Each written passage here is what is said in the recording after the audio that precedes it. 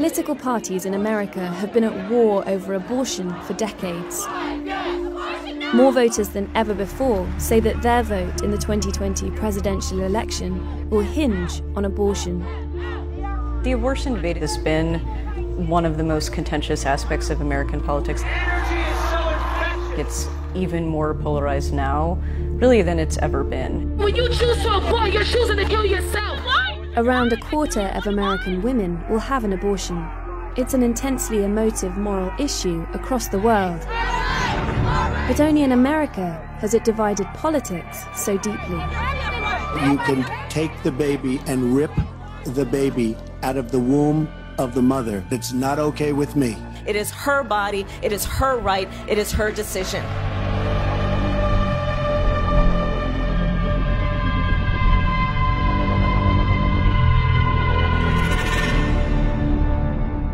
Dr. Colleen McNicholas is about to provide testimony in a case that could close the state of Missouri's last surviving abortion clinic.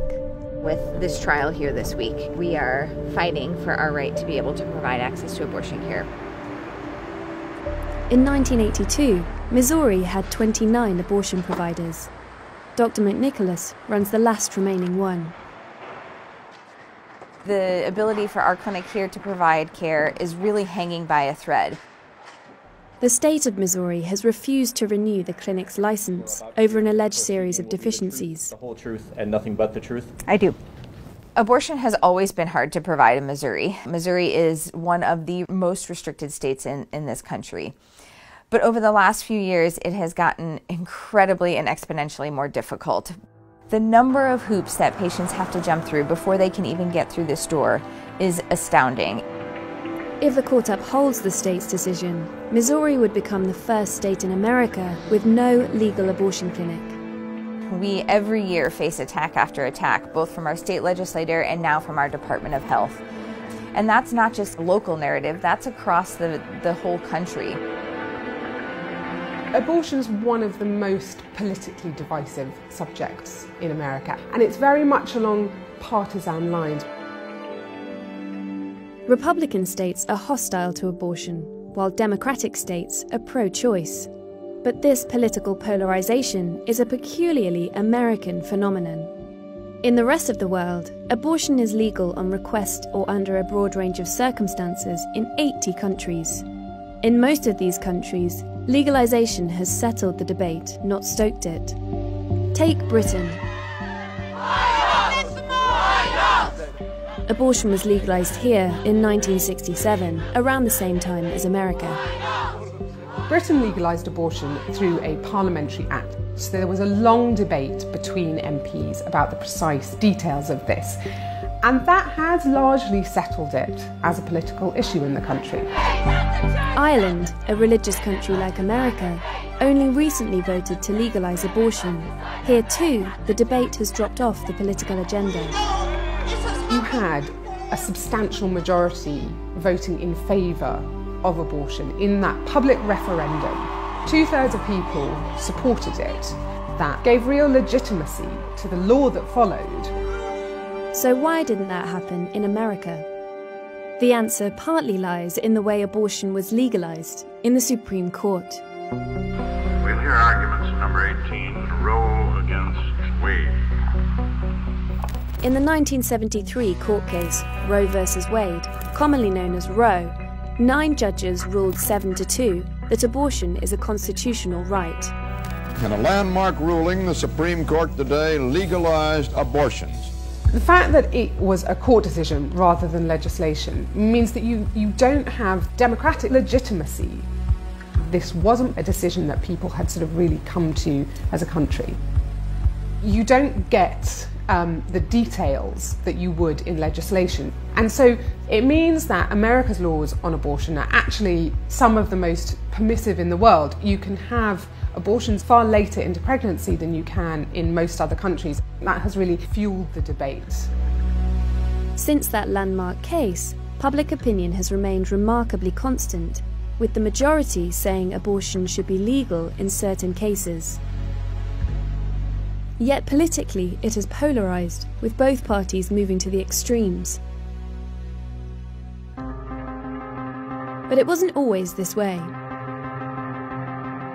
In the 70s, you could find pro life and pro choice people in both parties, and in fact, during the 1976 election, both presidential candidates tried very hard to distance themselves from any strong stand on abortion. If anything, Republicans were more pro choice than Democrats. The main opponents to abortion immediately after Roe were Catholics, who tended to be Democrat it wasn't at all inevitable that there would be any party alignment on abortion, much less the one we have now.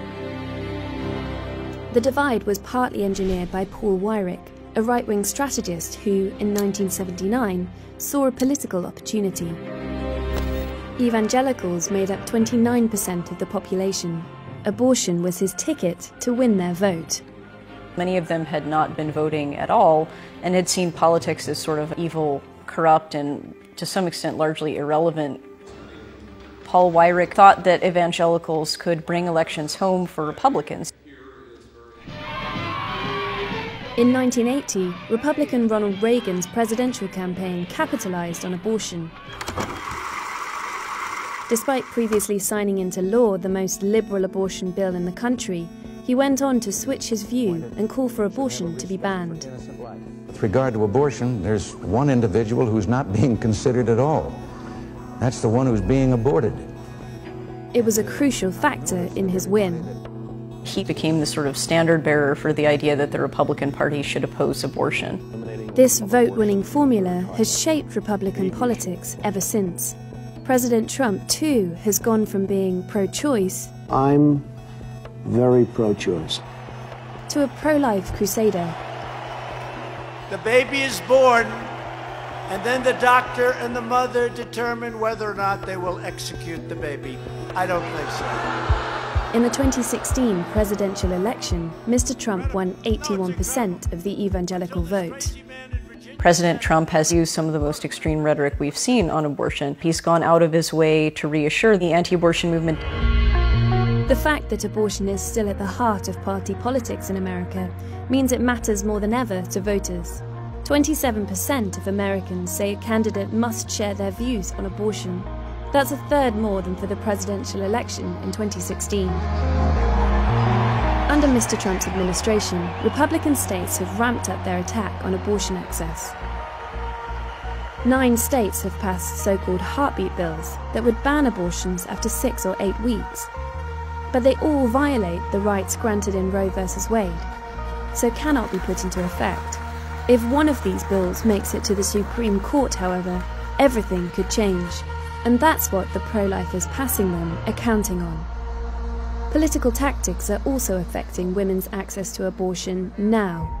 Since 2017, 35 Republican states have attempted to strangle abortion access, with more than 250 new regulations.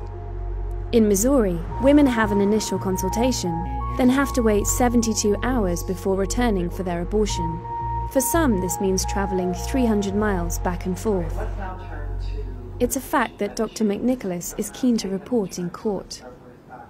Most patients don't have the opportunity to come back in 72 hours. For most patients, it takes them at least a week and sometimes much longer as they again have to navigate many of the, the restrictions, the long drives, and the figuring out um, gas and childcare and time off of work. If Missouri's last clinic closes, nearly 1.4 million women would be left without statewide abortion access. Patients would most likely have to cross from Republican Missouri into Democratic state Illinois, where protection for abortion has been signed into law. Now the political battle over abortion is literally being fought across state lines. Illinois knows where we stand, and we're going to be here for women if they have to be refugees from other states. Illinois has opened a new mega clinic just 10 minutes from the border to cater for the abortion demand from women in nearby Republican states. The reality is starkly different for patients who have the opportunity to get that care in a dignified manner when they decide they need it. It's one of several Democratic states creating legal frameworks to protect the right to abortion. Many of the bills you see now are states, both liberal and conservative, preparing for what many believe is a post Roe world. Uh, and many experts, myself included, think that that's a matter not of if, but of when. The fate of Roe rests on the Supreme Court, which is made up of nine justices, two of whom have been appointed by President Trump. The country has a new Supreme Court justice this morning. Brett Kavanaugh was sworn in overnight, ending an. He's nominated two justices to the Supreme Court who were chosen, I think, with the expectation that they would vote to overturn Roe. Legal abortion is in real peril in a way that hasn't been the case in literally probably 40 years. The newly composed Supreme Court will be deciding on its first abortion case by June 2020. All the signs are there that there would be more likely a significant scaling back of abortion rights. If that happens, you'll expect to see even more state restrictions that'll be designed to encourage the court to overturn Roe. And you'll see the court probably begin down a path to the eventual overruling of Roe. If Roe is overturned, decisions about abortion will be handed back to the states, meaning Republican states may ban abortions outright. We can see from other countries' experiences and from history that when women can't get safe legal abortions, it means that they get dangerous illegal ones and that they risk their fertility, their health, and even their lives. Ultimately, it's these women, their bodies, and their health that will pay the price for the politics of abortion. For me and for my colleagues who sit with patients every single day and hear story after story about why abortion is pivotal to their existence in that moment, it's not political at all.